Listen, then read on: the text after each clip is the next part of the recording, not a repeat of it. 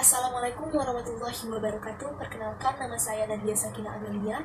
Saya dari kelas 1A Jurusan Ilmu Komunikasi Dari Fakultas Dakwah dan Komunikasi UIN Suskaryang Dengan NIM 12140323220 Di sini saya akan berpidato tentang penerapan nilai-nilai Pancasila dalam kehidupan bermasyarakat Pancasila. Pancasila adalah nilai-nilai luhur bangsa Indonesia yang digali dari budaya Indonesia yang mencakup seluruh kebutuhan dan hak-hak dasar manusia secara universal, sehingga dapat dijadikan landasan dan falsafah hidup bangsa Indonesia yang majemuk ini.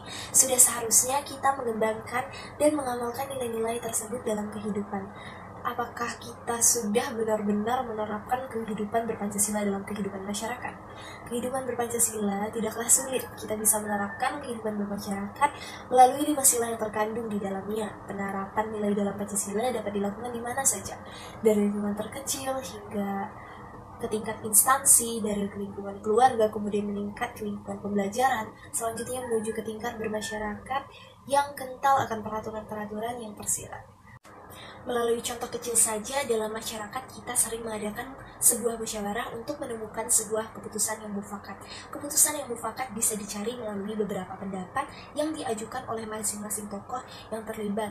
Nah, melalui kegiatan bermasyarakat tersebut kita sudah bisa menerapkan sila keempat dalam Pancasila yang berbunyi kerakyatan yang dipimpin oleh hikmat kebijaksanaan dalam permusyawaratan perwakilan. Walaupun kejadian ini terlihat biasa saja di masyarakat, namun ini adalah salah satu cara kita untuk selalu menjalankan pedoman hidup yang terkandung dalam setiap nilai di Pancasila. Contoh lainnya kali ini peran mahasiswa di dalam lingkungan perkuliahan. Sebagai mahasiswa berpedoman Pancasila, kita harus mampu menanamkan sikap tunduk dan patuh terhadap apa saja yang diberikan dosen demi masa depan dan kehidupan yang lebih baik. Selain tunduk dan patuh terhadap dosen, kita juga harus tunduk dan setia menjalan, menjalankan peraturan serta menjauhi larangan yang sudah tersurat dan tersirat dalam peraturan sekolah. Marilah kita terapkan nilai-nilai luhur Pancasila mulai detik ini dan seterusnya. Masa lalu yang pahit sudah dialami bangsa Indonesia ketika itu Pancasila ada yang mencoba untuk mengubahnya.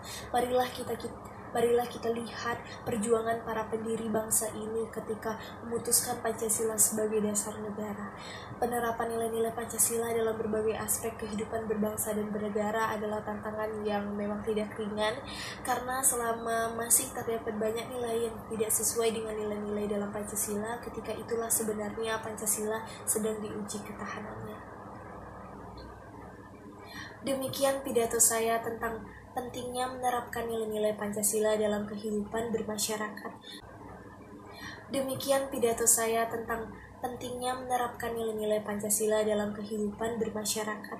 Kesimpulannya adalah nilai-nilai Pancasila harus diterapkan dalam kehidupan sehari-hari atau bermasyarakat agar kehidupan berbangsa dan bernegara dapat berjalan dengan baik sesuai dengan cita-cita para pendiri bangsa ini. Apabila ada kesalahan pengucapan kata atau kalimat dalam pidato saya, mohon dimaafkan. Wabillahi taufiq walhidayah. Wassalamualaikum warahmatullahi wabarakatuh. Terima kasih.